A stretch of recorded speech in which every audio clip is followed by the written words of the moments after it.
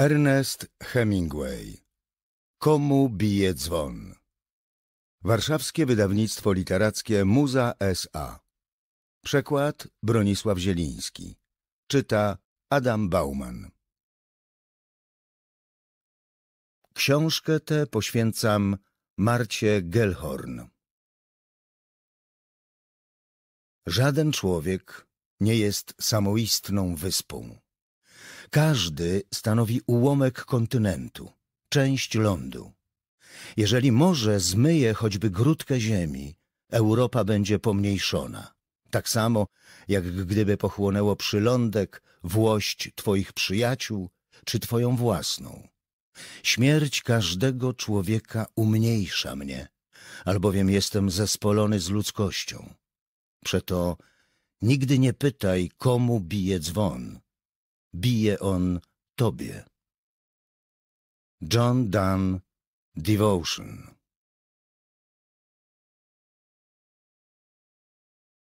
Leżał płasko na pokrytej brunatnym igliwiem leśnej ziemi. Brodę miał opartą na skrzyżowanych rękach, a wysoko nad nim szumiał wiatr w koronach sosen. Zbocze opadało tu łagodnie, ale niżej było urwiste i widział ciemny asfalt szosy, która wiła się przez przełęcz. Wzdłuż szosy płynął potok, a daleko w dole widać było tartak nad jego brzegiem i kaskadę wody, która przelewając się przez tamę bielała w letnim słońcu. — Czy to ten tartak? — zapytał. — Tak. Nie przypominam go sobie. Bo go wybudowali, kiedy was tu nie było. Stary tartak jest dalej, tam niżej, za przełęczą. Rozłożył na leśnej ziemi fotograficzną mapę sztabową i przyjrzał się jej uważnie. Stary popatrzył mu przez ramię. Był niski i krzepki, miał na sobie czarny chłopski kaftan, szare spodnie, sztywne jak żelazo i trepy na sznurkowych podeszwach. Oddychał z trudem po wspinaniu się pod górę, a jego ręka spoczywała na jednym z dwóch ciężkich plecaków, które tu przynieśli. — To stąd nie widać mostu? — Nie, odpowiedział stary.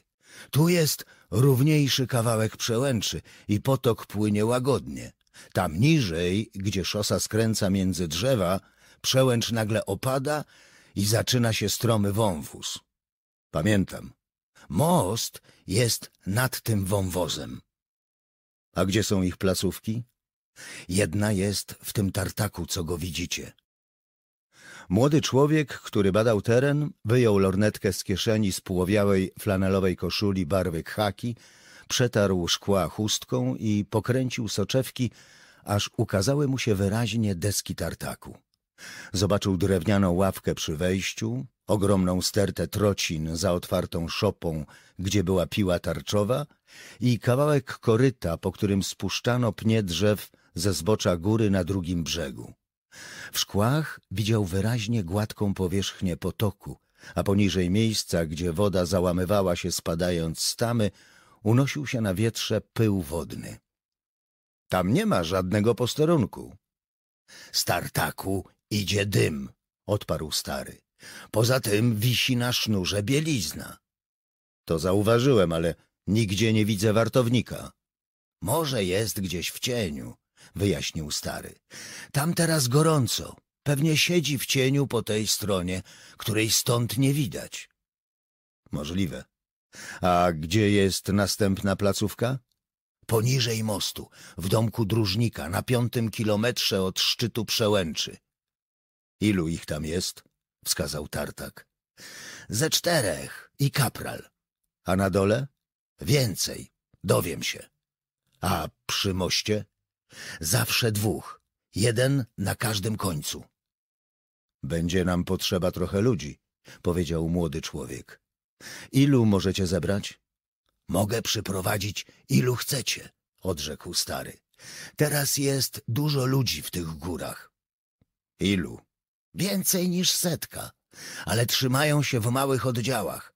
A ilu będzie wam trzeba? Powiem wam, jak zbadamy most. Chcecie to zrobić zaraz? Nie. Teraz chcę pójść tam, gdzie będzie można złożyć te materiały wybuchowe. dopóki nie przyjdzie pora. Chciałbym je schować w jak najbezpieczniejszym miejscu, nie dalej niż o pół godziny drogi od mostu, jeżeli to możliwe. To całkiem proste, powiedział stary. Stamtąd, dokąd idziemy, schodzi się do mostu wciąż w dół. Ale żeby się tam dostać, musimy teraz porządnie się namozolić. Głodniście? Tak, odrzekł młody człowiek. Ale zjemy coś później. A jak wy się nazywacie, bo zapomniałem? Uważał za zły znak, że zapomniał. Anselmo, odparł stary. Zwę się Anselmo i pochodzę z Barco de Avila. Pomogę wam założyć plecak. Młody człowiek, który był szczupły i wysoki, miał zjaśniałe od słońca blond włosy i twarz ogorzałą na słońcu i wietrze i który ubrany był w spłowiałą koszulę flanelową, chłopskie spodnie i trepy na sznurkowych podeszwach, pochylił się, przełożył rękę przez jeden ze skórzanych pasów i zarzucił sobie ciężki plecak na ramiona. Przesunął rękę przez drugi pas i poprawił ciężar na grzbiecie. Koszula była jeszcze wilgotna w miejscu, gdzie przedtem opierał się plecak. Już założyłem, powiedział. Jak idziemy? Pod górę, odrzekł Anselmo. Przygięci pod ciężarem plecaków, spoceni, ruszyli pod górę przez las sosnowy porastający zbocze. Młody mężczyzna nie mógł tu dostrzec żadnej ścieżki, ale pieli się coraz wyżej, obchodząc stok dookoła, aż wreszcie przeprawili się przez niewielki strumień i wtedy stary poszedł dalej z krajem jego kamienistego łożyska.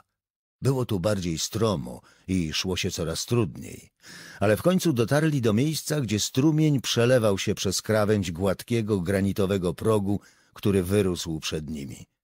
Stary zatrzymał się u jego stóp, aby zaczekać na swego towarzysza. — Jak wam się idzie? — Dobrze — odparł młody człowiek. Był zlany potem, a mięśnie ud drgały mu po uciążliwej wspinaczce. — Zaczekajcie tu na mnie.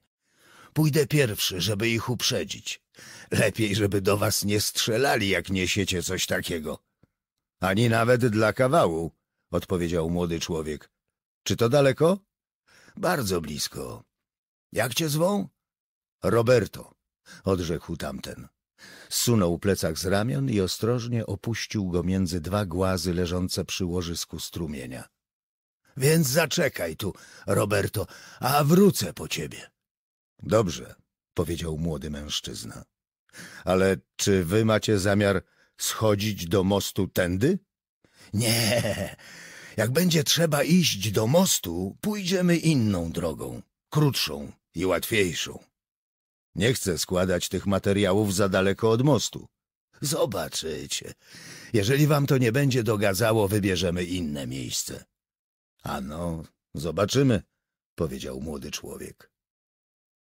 Usiadł przy plecakach i patrzył, jak stary wspina się na skalny próg.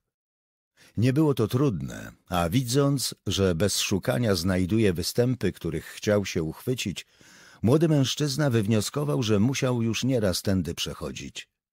Jednakże ci, co byli na górze, najwyraźniej starali się nie zostawiać żadnych śladów.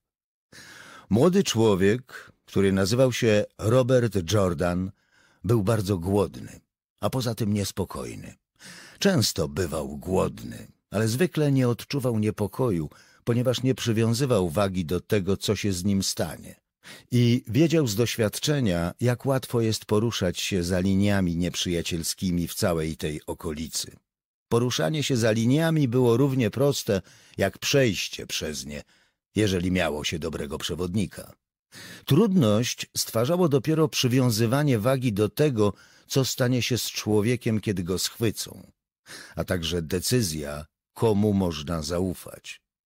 Ludziom, z którymi się pracowało, trzeba było ufać całkowicie albo wcale.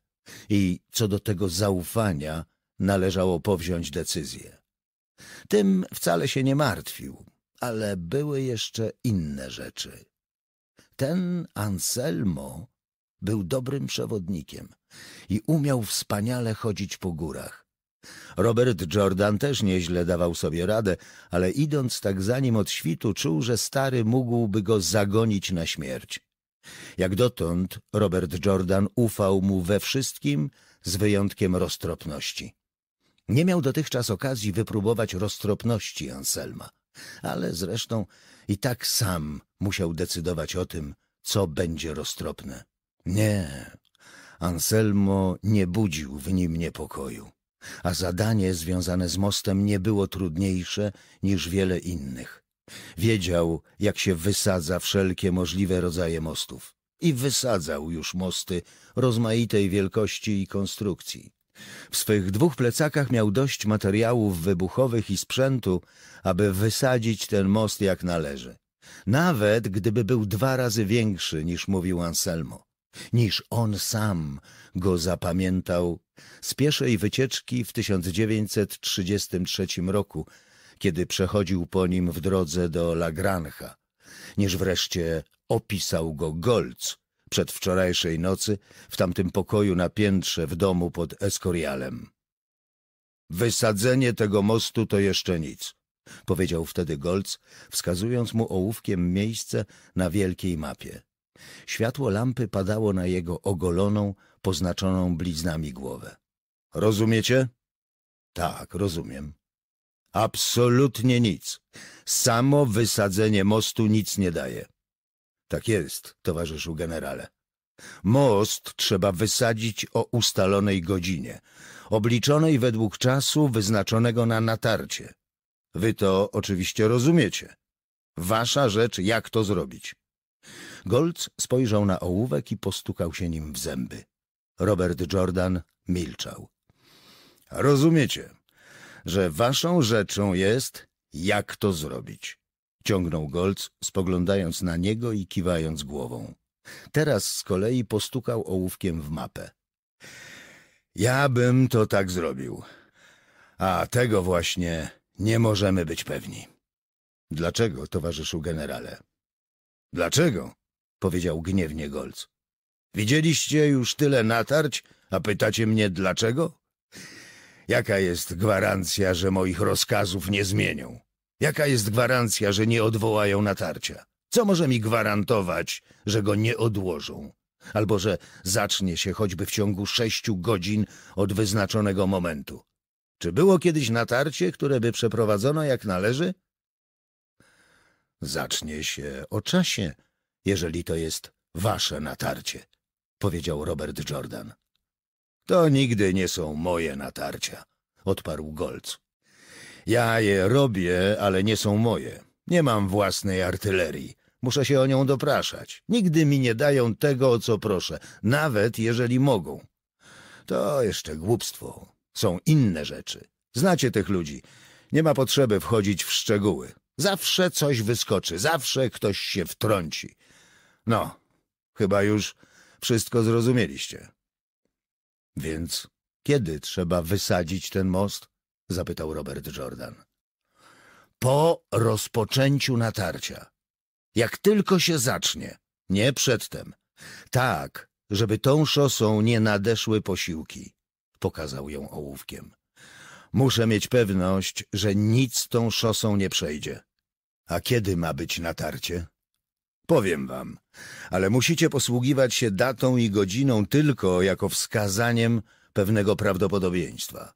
Musicie być gotowi na tę chwilę. Most wysadzicie po rozpoczęciu natarcia. Widzicie? Pokazał ołówkiem. To jest jedyna droga, którą mogą przerzucić posiłki. Jedyna droga, którą mogą pchnąć czołgi czy artylerię, czy choćby ciężarówkę ku tej przełęczy, którą atakuje. Muszę mieć pewność, że ten most przestał istnieć. I to nie przedtem, żeby go nie naprawili, gdyby natarcie zostało odłożone. Nie. Most musi wylecieć w powietrze, kiedy zacznie się atak, a ja muszę wiedzieć, że już go nie ma. Tam są tylko dwa posterunki. Człowiek, który z wami pójdzie, dopiero co stamtąd przyszedł. Podobno można na nim całkowicie polegać. Przekonacie się. Ma swoich ludzi w górach. Zbierzcie sobie tylu, ilu wam będzie potrzeba. Włączcie w to możliwie niewielu, ale w dostatecznej liczbie. Nie muszę wam mówić tych rzeczy. A w jaki sposób ustalę, że natarcie się zaczęło? Ma być przeprowadzone w sile pełnej dywizji. Poprzedzi je bombardowanie z powietrza. Chyba nie jesteście głusi. Więc mogę przyjąć, że kiedy samoloty zrzucą bomby, będzie to znaczyć, że natarcie się zaczęło. Nie zawsze można to przyjmować, powiedział Golc i pokiwał głową. Ale w tym wypadku tak, bo to jest moje natarcie. Rozumiem, rzekł wtedy Robert Jordan. Nie mogę powiedzieć, żebym był zachwycony. Ja też nie bardzo. Jeżeli nie chcecie się tego podjąć, powiedzcie od razu. Jeżeli uważacie, że nie możecie tego zrobić, powiedzcie mi teraz. Zrobię to, rzekł Robert Jordan. Zrobię to jak należy. To jedno muszę wiedzieć, odparł Golc, że nic nie przejdzie przez ten most, bezwarunkowo. Rozumiem. Nie lubię prosić ludzi o takie rzeczy i w taki sposób, ciągnął Golc. Nie mógłbym wam dać rozkazu, żebyście to wykonali. Rozumiem, do czego możecie być zmuszeni przez to, że postawiłem takie warunki. Przedstawiam wam wszystko bardzo dokładnie, żebyście zrozumieli i uświadomili sobie wszelkie możliwe trudności i wagę całej sprawy. Ale w jaki sposób pomaszerujecie na Lagrancha, jeżeli ten most będzie wysadzony? Pójdziemy naprzód przygotowani do naprawienia go po wzięciu szturbem przełęczy. To bardzo skomplikowana i piękna operacja. Równie skomplikowana i piękna jak zawsze. Ten plan działania sfabrykowali w Madrycie. To jeszcze jedno arcydzieło Vicenta Rojo, tego nieudanego profesora. Ja mam przeprowadzić natarcie i mam to zrobić, jak zawsze, niedostatecznymi siłami. Mimo to operacja jest zupełnie wykonalna. Jestem bardziej zadowolony niż zwykle. Może się udać, jeżeli zniszczymy ten most. Możemy wziąć Segowię. Czekajcie, pokażę wam, jak to idzie. Widzicie? Nie nacieramy szczytem przełęczy. Ją musimy utrzymać. To będzie znacznie dalej. O, patrzcie. Tutaj w ten sposób. Wolałbym nie wiedzieć, rzekł Robert Jordan. Racja, odparł Golc, bo tak będziecie mieli mniejszy bagaż do noszenia z sobą po tamtej stronie, co? Zawsze wolę nie wiedzieć. Wtedy jak coś się stanie, nie ja będę tym, który gadał. Lepiej jest nie wiedzieć. Golc postukał się ołówkiem w czoło. Nieraz i ja sam wolałbym nie wiedzieć. Ale przynajmniej wiecie to jedno, co macie wiedzieć o moście. Tak jest, to wiem. Mnie też się tak zdaje, rzekł Golc. Nie będę tu do was wygłaszał żadnej mówki. Teraz się czegoś napijmy. Od tego gadania zaschło mi w gardle, towarzyszu Hordan. Wasze nazwisko zabawnie brzmi po hiszpańsku, towarzyszu Hordan. A jak się wymawia Golc po hiszpańsku, towarzyszu generale? Jose, odpowiedział Golc z uśmiechem, wyrzucając to słowo z głębi krtani, jak gdyby odchrząkiwał z przeziębienia. Jose, zachrypiał. Towarzysz general Jose. Gdybym wiedział, jak się wymawia Golc po hiszpańsku, obrałbym sobie lepsze nazwisko przed wyjazdem na tę wojnę. Kiedy pomyślę, że jechałem tu, aby dowodzić dywizją i mogłem wybrać sobie każde nazwisko, jakie mi się podobało, a wybrałem akurat Jose, general Jose. Teraz już za późno zmieniać. A jak wam się podoba robota partyzana? Było to rosyjskie określenie działań gerilli na tyłach. Bardzo, odpowiedział Robert Jordan. Uśmiechnął się. Zdrowo jest na otwartym powietrzu. Ja też to ogromnie lubiłem, kiedy byłem w waszym wieku, rzekł Golc. Podobno doskonale wysadzacie mosty. Bardzo naukowo. Tak, tylko słyszałem. Sam nigdy was nie widziałem przy robocie. Może w rzeczywistości nic z tego nie wychodzi. Naprawdę je wysadzacie? Zapytał żartobliwie. Wypijcie to. Podał Robertowi Jordanowi szklankę hiszpańskiej wódki. Rzeczywiście je wysadzacie? Czasami. Z tym mostem niech lepiej nie będzie żadnego czasami. No, już nie mówmy więcej o tym moście. Zrozumieliście wszystko, co trzeba. Jesteśmy bardzo poważni, więc możemy pozwalać sobie na mocne żarty. Słuchajcie, a dużo tam macie dziewczyn po drugiej stronie frontu? Nie, nie mamy czasu na dziewczyny. Z tym się nie zgadzam. Im bardziej nieregularna służba, tym bardziej nieregularne życie. A wy macie bardzo nieregularną służbę. Poza tym powinniście się ostrzyc. Jestem ostrzyżony jak trzeba, odparł Robert Jordan. Prędzej by go szlak trafił, niż by ogolił sobie głowę jak golc.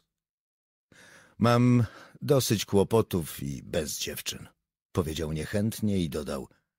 A w jakim mundurze mam być? W żadnym, odparł Golc. A wasze włosy są w porządku. Tak, tylko się z wami drażnię. Wy bardzo się ode mnie różnicie, napełnił znowu szklanki.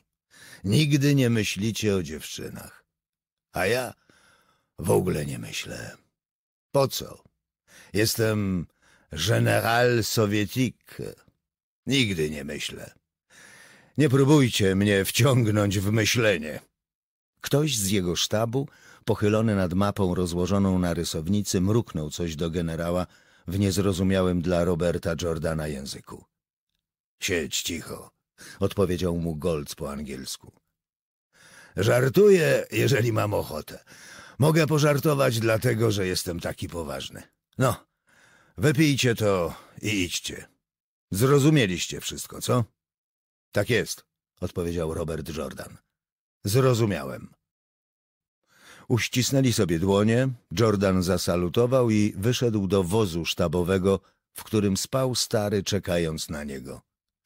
Nie zbudził się, kiedy jechali przez Guadarramę, a potem szosą do Navacerrady, do schroniska klubu alpejskiego, gdzie Robert Jordan przespał się trzy godziny, zanim wyruszyli w drogę. Wtedy po raz ostatni widział Golca. Jego dziwną, bladą twarz, której nigdy nie chwytała opalenizna, jego sokole oczy, duży nos, wąskie wargi i ogoloną głowę poznaczoną zmarszczkami i bliznami. Jutro wieczorem wojsko zbierze się w mroku na szosie pod Eskorialem.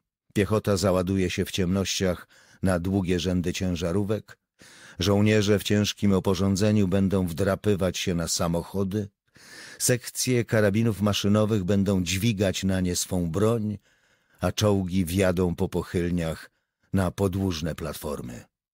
Dywizja wymaszeruje w nocy i ruszy do natarcia na przełęcz. Nie chciał o tym myśleć. To nie jego rzecz. To sprawa Golca. On sam ma tylko jedno do zrobienia i nad tym powinien się zastanawiać. Należy przemyśleć to dokładnie, przyjmować spokojnie wszystko, co będzie i nie martwić się o nic. Martwienie się jest równie niedobre jak strach, tylko utrudnia sprawę. Siedział teraz nad strumieniem, Patrzył na przezroczystą wodę płynącą między głazami i zauważył, że na drugim brzegu rośnie gęsta kępa rzeżuchy. Przeszedł w brud strumień, narwał dwie garście, obmył w nurcie obłocone korzenie, po czym znów usiadł obok plecaka i pogryzał czyste, chłodne, zielone listki i kruche łodygi o pieprznym smaku. Ukląkł nad wodą i przesunąwszy na pasie pistolet do tyłu, żeby się nie zamoczył, oparł się rękami o dwa głazy, pochylił i zaczął pić z potoku. Woda była kłująco zimna. Dźwignął się na rękach, odwrócił głowę i zobaczył starego, który opuszczał się ze skalnego występu. Był z nim jakiś mężczyzna także w czarnym chłopskim kaftanie i ciemnoszarych spodniach, co stanowiło nieomal mundur w tej prowincji. Miał trepy na sznurkowych podeszwach, karabin na plecach i gołą głowę. Obaj zsuwali się ze skały jak kozice. Podeszli do niego i Robert Jordan wstał z ziemi. — Salut, kamarada powiedział do mężczyzny z karabinem i uśmiechnął się. Salut, odparł tamten niechętnie. Robert Jordan przyjrzał się jego masywnej twarzy, pokrytej szczeciną zarostu. Była prawie okrągła, podobnie jak osadzona na krótkiej szyi głowa. Miał małe, za szeroko rozstawione oczy i drobne przylegające uszy. Był ciężkiej budowy, wzrostu około metra siedemdziesięciu. Miał duże dłonie i stopy. Jego nos był kiedyś złamany, usta rozcięte w kąciku, a poprzez szczecinę zarostu prześwitywała długa blizna biegnąca przez górną i dolną szczękę. Stary wskazał go ruchem głowy i uśmiechnął się. On tu jest przywódca. Wyszczerzył zęby, po czym przygiął ręce, jakby chciał napiąć muskuły i popatrzył na tamtego z półżartobliwym podziwem. Mocny chłop. Widzę, odrzekł Robert Jordan i uśmiechnął się znowu. Nie podobał mu się ten człowiek i wewnętrznie nie uśmiechał się wcale. Co macie na poświadczenie waszej tożsamości? zapytał mężczyzna z karabinem. Robert Jordan odpiął agrafkę przytrzymującą klapę lewej kieszeni flanelowej koszuli, wydobył złożony we czworo papier i podał mężczyźnie, który rozłożył go, przyjrzał mu się uważnie i obrócił w dłoniach. A więc nie umie czytać, zauważył w duchu Robert Jordan. Spójrzcie na pieczątkę, powiedział. Stary pokazał pieczęć, a mężczyzna z karabinem przyjrzał się jej uważnie, obracając papier w palcach. Co to za pieczęć? Nigdy jej nie widzieliście? Nie. Tam są dwie, powiedział Robert Jordan. Jedna SIMU, czyli Służby Informacji Wojskowej, druga Sztabu Generalnego. Tak, tę już widziałem.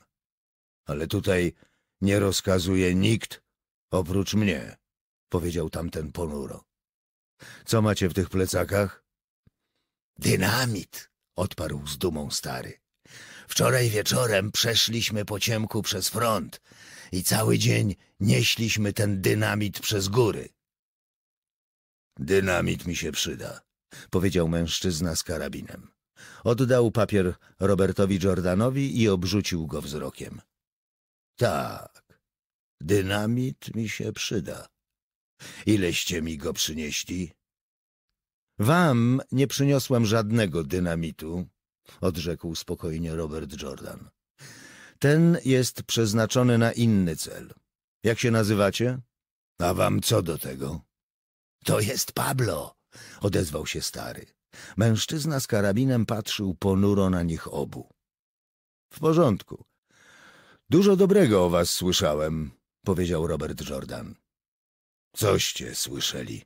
zapytał Pablo że z was doskonały przywódca partyzancki, że jesteście wierni Republice i swoją wierność wykazujecie czynami i żeście człowiek poważny i dzielny. Przynoszę wam pozdrowienia od sztabu generalnego. Gdzieście to wszystko słyszeli? zapytał Pablo. Robert Jordan zauważył, że wcale nie bierze się na te pochlebstwa. Słyszałem to od Buitrago po Escorial, powiedział wskazując na cały obszar po przeciwnej stronie frontu. Nie znam nikogo w Buitrago, ani w Escorialu, odrzekł Pablo. Po drugiej stronie gór jest teraz sporo ludzi, których tam przedtem nie było. A wy skąd pochodzicie? Zawili. Co macie zamiar zrobić z tym dynamitem? Wysadzić most. Jaki most? To moja sprawa. Jeżeli most jest na tym terenie, to to już moja sprawa. Nie można wysadzać mostów za blisko. Trzeba siedzieć w jednym miejscu, a działać w innym. Znam się na rzeczy. Ktoś, kto teraz po roku jeszcze żyje, musi znać się na rzeczy. To moja sprawa, powtórzył Robert Jordan. Możemy to obgadać razem. Pomożecie nam nieść te plecaki? Nie, odparł Pablo, kręcąc głową. Stary odwrócił się nagle ku niemu i zaczął coś mówić szybko i zaciekle w dialekcie, który Robert Jordan ledwie rozumiał. Przypominało to czytanie Keweda. Anselmo mówił starym narzeczem kastylijskim i brzmiało to mniej więcej tak. Czy jesteś bydlęciem? Jesteś. Czy jesteś bestią? Tak, powielokroć. A czy masz mózg? Nie, nie masz wcale. Oto przychodzimy w sprawie najwyższej wagi, a ty, byleby tylko twoja siedziba nie poniosła szwanku. Przedkładasz tę lisią norę ponad interes ludzki, ponad interes własnego ludu. Ja to i tamto w to i tamto twojego ojca. Ja to, to i tamto w twoje to. Bierz ten tobuł. Pablo opuścił wzrok. Każdy powinien robić tyle, ile może. Zależnie od tego, jak się da, powiedział. Ja siedzę tutaj, a działam za Segowią. Jeżeli wywołacie tu zamieszanie, przepędzą nas z tych gór. Tylko dzięki temu, że tutaj nic nie robimy, możemy siedzieć w tych górach. To jest zasada lisa. Tak, odparł z goryczą Anselmo. To jest zasada lisa, kiedy nam trzeba wilka. Większy ze mnie wilk od ciebie, rzekł Pablo, a Robert Jordan już wiedział, że teraz weźmie plecak. Hi, ho, spojrzał na niego Anselmo. Tyś większy wilk ode mnie, ale ja mam sześćdziesiąt i osiem lat. Splunął na ziemię i pokiwał głową. To wy już macie tyle lat? Zapytał Robert Jordan, widząc, że chwilowo wszystko w porządku i starając się ułatwić sytuację. Sześćdziesiąt osiem skończę w miesiącu lipcu. Jeżeli w ogóle dożyjemy do tego miesiąca, odezwał się Pablo. Pomogę wam nieść ten plecak, powiedział do Roberta Jordana. Drugi daj się staremu. Mówił teraz już nie ponuro, ale nieomal smutnie. Ten stary ma wielką siłę. Ja poniosę, odparł Robert Jordan. Nie, rzekł stary, dajcie temu drugiemu osiłkowi. Wezmę go, odpowiedział Pablo, a w jego posępności był jakiś smutek, który zaniepokoił Roberta Jordana. Znał ten smutek i zmartwił się, widząc go w tej chwili.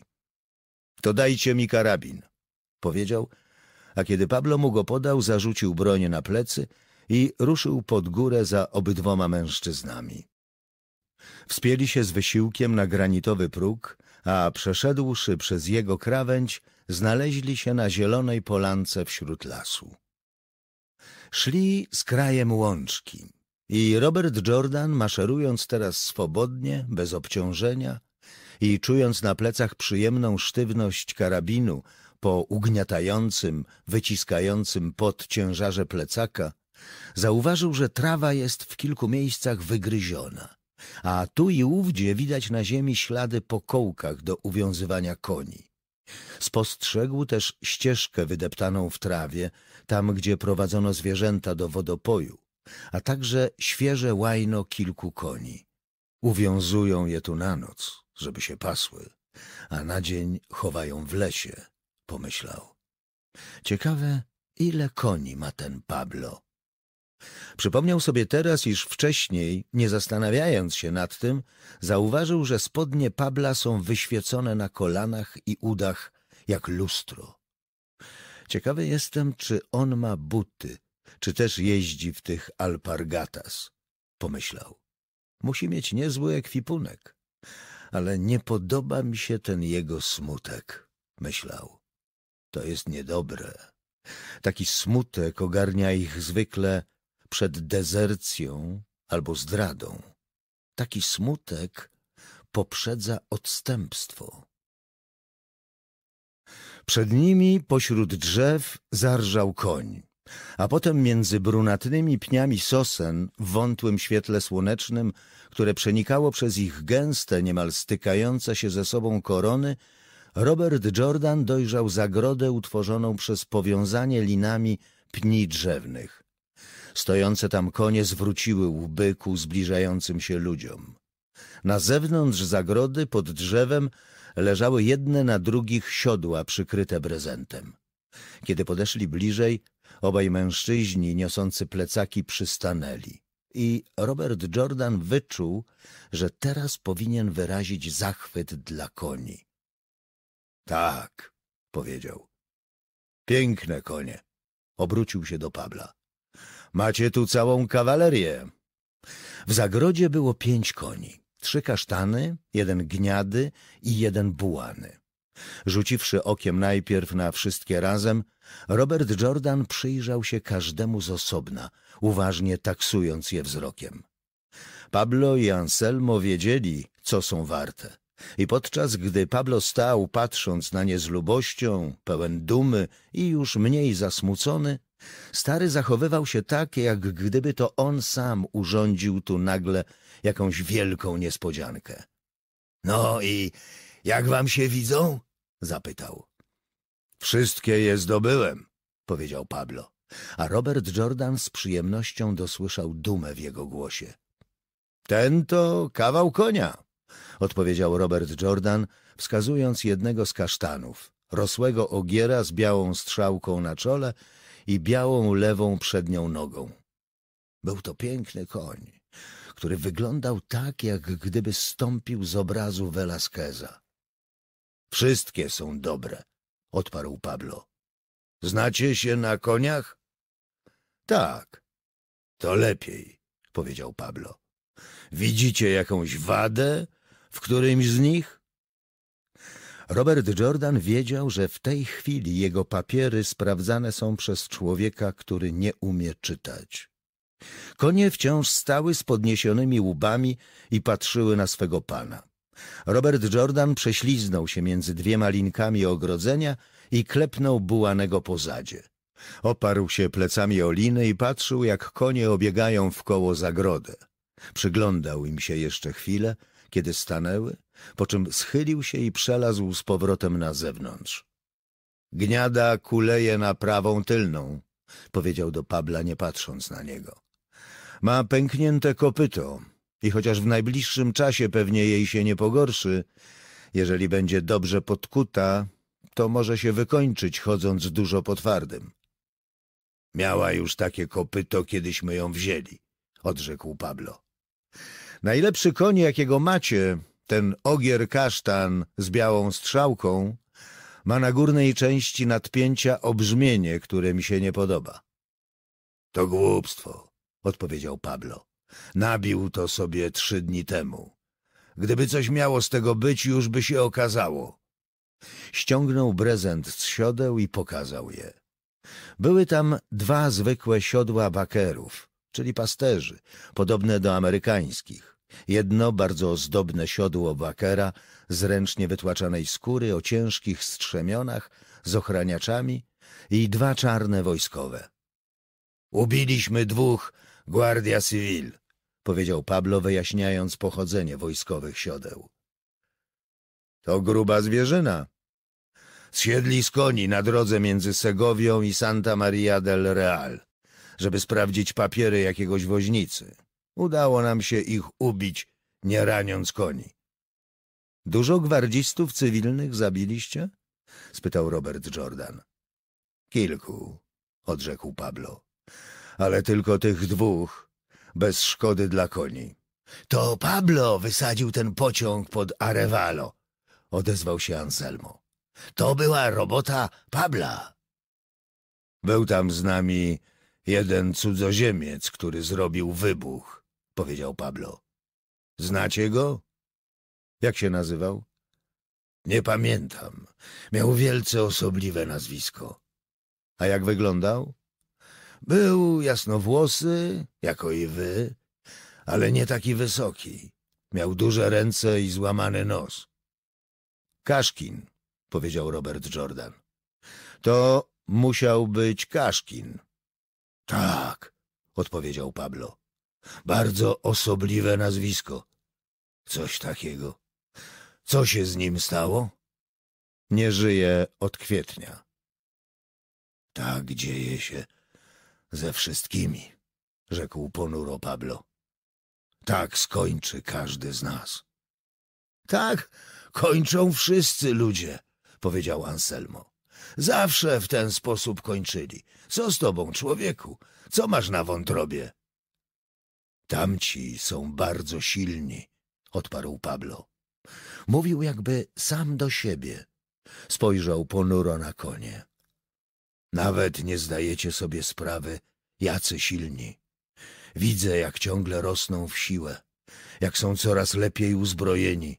Wciąż im przybywa sprzętu. A ja tu siedzę z takimi końmi i czego się mogę spodziewać? Że będą mnie tropić i że zginę. Nic więcej. Tak samo ty ich tropisz, jak oni ciebie, powiedział Anselmo. Nie, odparł Pablo. Teraz już nie. A jeżeli wyniesiemy się z tych gór, to dokąd pójdziemy? Odpowiedzcie mi, no, dokąd? W Hiszpanii jest dużo gór. Jeżeli trzeba będzie stąd odejść, mamy Sierra de Gredos. To nie dla mnie, powiedział Pablo. Dość mam tego ciągłego ścigania. Tutaj nam dobrze. A jak teraz wysadzicie tu most, tamci będą nas ścigać. Jeżeli zwiedzą się, że tu jesteśmy i zaczną nas szukać samolotami, to i znajdą. Jeżeli przyślą Maurów, żeby nas przepędzić, to znajdą nas i będziemy musieli uciekać. Dość mam tego wszystkiego. Słyszycie? Obrócił się do Roberta Jordana.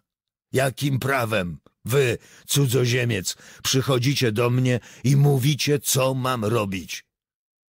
Wcale wam nie mówiłem, co macie robić, odparł Robert Jordan. Ale powiecie, rzekł Pablo. O, tu, tu jest zło. Pokazał oba ciężkie plecaki, które złożyli na ziemi, kiedy oglądali konie. Na widok koni najwyraźniej wezbrała w nim cała gorycz, a fakt, że Robert Jordan znał się na koniach, rozwiązał mu język. Wszyscy trzej stali przy zagrodzie, a na sierści kasztanowatego ogiera lśniły plamy słońca. Pablo popatrzył na konia, a potem trącił nogą plecak. Tu jest zło. Przychodzę tylko spełnić swój obowiązek, powiedział Robert Jordan. Przychodzę z rozkazu tych, którzy prowadzą wojnę. Jeżeli was poproszę o pomoc, możecie odmówić, a wtedy znajdę sobie innych, którzy mi pomogą. Jeszcze was nawet nie prosiłem o pomoc. Muszę zrobić to, co mi rozkazano i mogę was zapewnić, że sprawa jest ważna. Nie moja wina, że jestem cudzoziemcem. Wolałbym się urodzić tutaj. Dla mnie teraz najważniejsze jest, żeby nas nie niepokoili, rzekł Pablo. Mam obowiązki wobec tych, co są ze mną i wobec siebie samego. Tak, wobec siebie samego, powiedział Anselmo. Od dawna już wobec siebie samego, siebie i swoich koni. Pókiś nie miał koni, byłeś z nami. Teraz jesteś jeszcze jeden kapitalista. To niesprawiedliwe, odparł Pablo. Ciągle narażam konie dla sprawy. Bardzo niewiele, powiedział drwiąco Anselmo. Bardzo niewiele, moim zdaniem. Kraść? Tak. Dobrze zjeść? Tak. Mordować? Tak. Ale walczyć? Nie. Z was jest stary człowiek, który narobi sobie biedy swoim językiem. Ze mnie jest stary człowiek, który się nikogo nie boi, odpowiedział Anselmo. I taki, co nie ma koni. Wyście taki stary, co może długo nie pożyć. Ja taki stary, co będzie żył aż do śmierci, odparł Anselmo. A lisów się nie boję. Pablo nie powiedział nic, tylko dźwignął plecak. Wilków też nie, dodał Anselmo, podnosząc drugi plecak. Jeżeliś wilkiem. Zamknij się, rzekł Pablo. Tyś taki stary, co zawsze za dużo gada. I zrobi wszystko, co zapowiedział, odparł Anselmo przygięty pod plecakiem. A teraz jest głodny i spragniony. Idź, partyzancki wodzu o smutnej twarzy. Prowadź nas tam, gdzie będzie coś do zjedzenia. Zaczyna się nie najlepiej, pomyślał Robert Jordan. Ale Anselmo to mężczyzna. Ci ludzie, jeżeli już są dobrzy, potrafią być wspaniali, myślał. Nie ma narodu, który byłby im wtedy równy, ale jak stają się źli, nie ma narodu gorszego od nich. Anselmo musiał wiedzieć, co robi, kiedy mnie tu prowadził. Ale to mi się nie podoba. Nie podoba mi się ani trochę. Jedynym dobrym znakiem był fakt, że Pablo niósł plecak i że oddał karabin. Może on zawsze jest taki, myślał Robert Jordan. Może to po prostu ponurak? Nie, powiedział sobie w duchu. Nie łudź się. Nie wiesz, jaki był przedtem, ale widzisz, że szybko się psuje i wcale tego nie ukrywa. Kiedy zacznie ukrywać, będzie to znak, że powziął decyzję. Pamiętaj, powiedział sobie, jak zrobi pierwszy przyjazny krok, będzie to świadczyło, że się zdecydował. Ale te konie są naprawdę doskonałe, pomyślał. Piękne konie. Ciekaw jestem, co mogłoby wzbudzić we mnie takie uczucia, jak one w tym Pablu. Stary miał rację. Konie uczyniły go bogatym, a gdy tylko stał się bogatym, zachciało mu się korzystać z życia. Pewnie niedługo będzie mu żal, że nie może zapisać się do Jockey Club, pomyślał. Pauvre Pablo, ile monque są jockey. Biedny Pablo, nie udało mu się z tym jockeyem. Ta myśl go rozweseliła. Uśmiechnął się, spojrzawszy na dwa przygięte grzbiety i wielkie plecaki posuwające się przed nim między drzewami. Przez cały dzień nie żartował sobie w duchu i teraz, kiedy to zrobił, poczuł się znacznie raźniej. Stajesz się podobny do nich wszystkich, pomyślał. Robisz się ponury.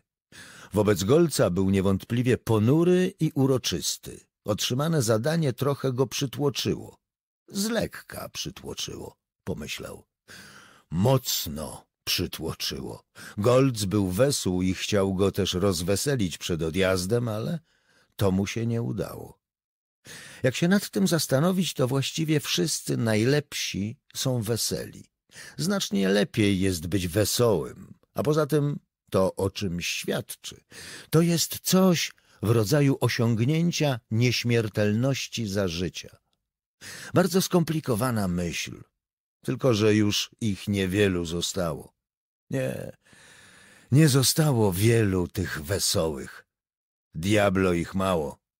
A jeżeli będziesz dalej tak rozmyślał, mój chłopcze, to i ty się nie ostaniesz. Przykręć teraz swoje myślenie, mój stary. W tej chwili jesteś wysadzaczem mostów, nie myślicielem. Ależ ja jestem głodny. Mam nadzieję, że Pablo dobrze jada.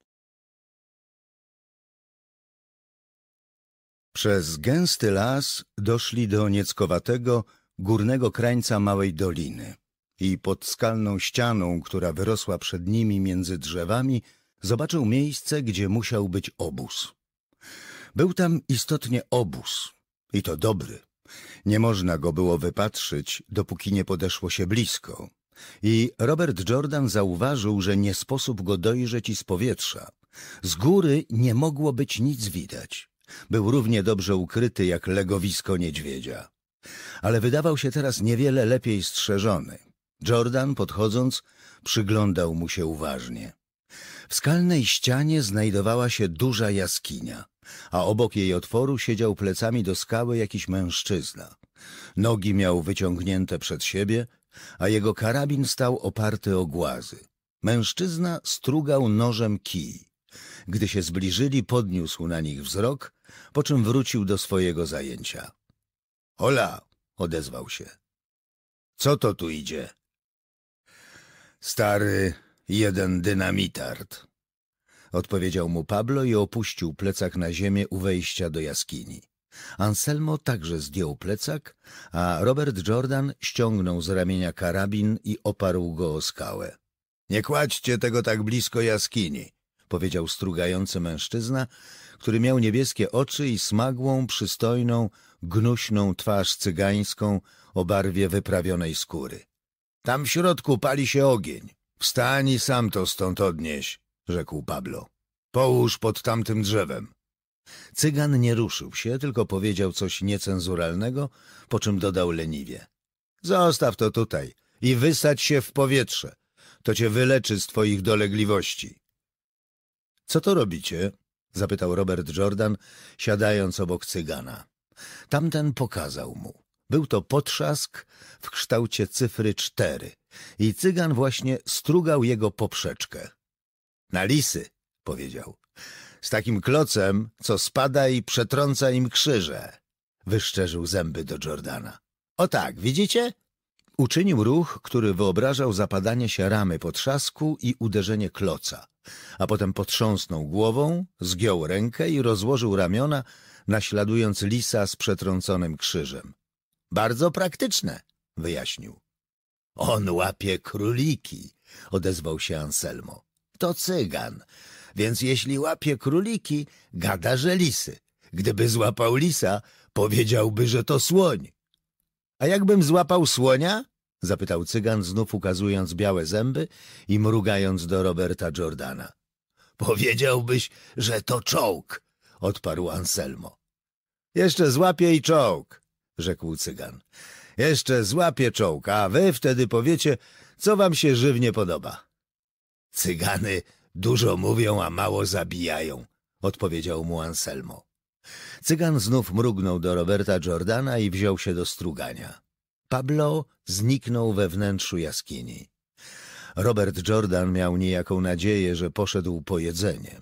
Usiadł na ziemi obok cygana, czując na wyciągniętych nogach ciepło popołudniowego słońca, które przenikało przez korony drzew.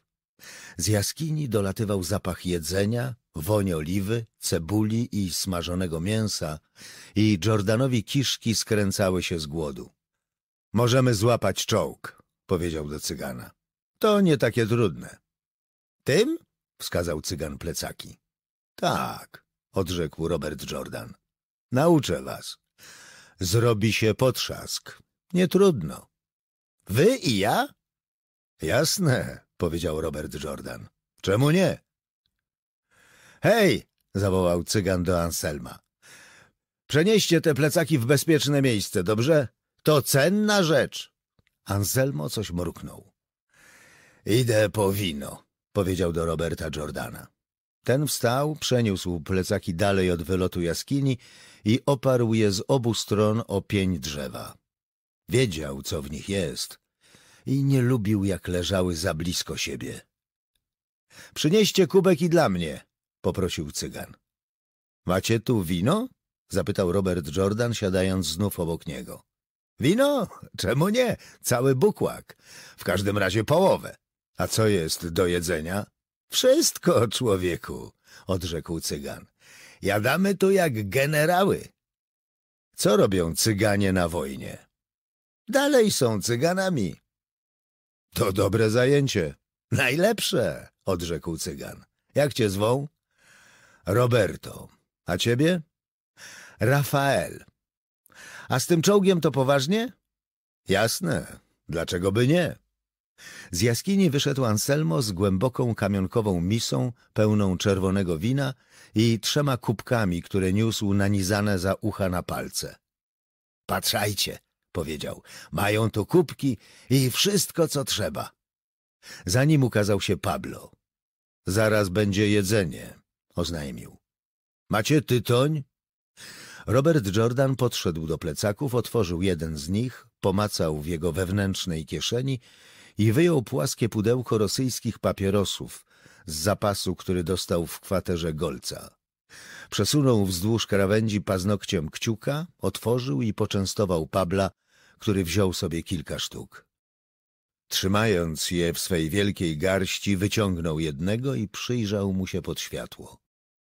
Były to długie, cienkie papierosy z kartonowymi ustnikami. Dużo powietrza, a mało tytoniu, powiedział Pablo. Ja te znam. Miał je tamten, o osobliwym nazwisku. Kaszkin, rzekł Robert Jordan i poczęstował papierosami cygana i Anselma, którzy wzięli po jednym. Weźcie więcej, powiedział, a oni dobrali po papierosie. Dodał im jeszcze po cztery, oni zaś na znak podziękowania dwukrotnie skinęli trzymanymi w dłoni papierosami, opuszczając w dół ich końce, jak przy salutowaniu szablą. Tak, rzekł Pablo. To było osobliwe nazwisko. Macie wino. Anselmo zanurzył kubek w misie i podał Robertowi Jordanowi, po czym nabrał dla siebie i dla cygana. A dla mnie nie ma wina? zapytał Pablo. Siedzieli wszyscy razem u wejścia do jaskini. Anselmo oddał mu swój kubek i wszedł do środka po drugi. Wróciwszy, pochylił się nad misą, nabrał wina, po czym wszyscy trącili się kubkami. Wino było dobre. Miało lekki, żywiczny posmak od bukłaka, ale po języku spływało wybornie, gładko i czysto. Robert Jordan popijał je zwolna, czując jak ciepło przenika przez jego zmęczenie. Zaraz dadzą nam jeść, powiedział Pablo. A ten cudzoziemiec o osobliwym nazwisku, to jak on umarł? Wzięli go i odebrał sobie życie.